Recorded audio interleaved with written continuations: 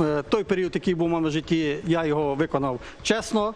Е, Це точно перегорнута сторінка, і в подальшому я е, хочу працювати для територіальної громади, для того для розвитку Івано-Франківщини і дякую, що маю е, таку можливість. З точки зору, от що сьогодні сказав е, пан Роман, він у своєму виступу сказав, що от він державник з 90-го року. Я маю досвід роботи з 2001-го в державній е, службі. І для мене, ну я не жодним чином не коментую указ президента про своє звільнення, але для мене не зрозуміло. Ну, якщо звільнили один день, не то що Федора, посаду голови ОДА, то на другий день має бути новий, бо інакше це дійсно колапс.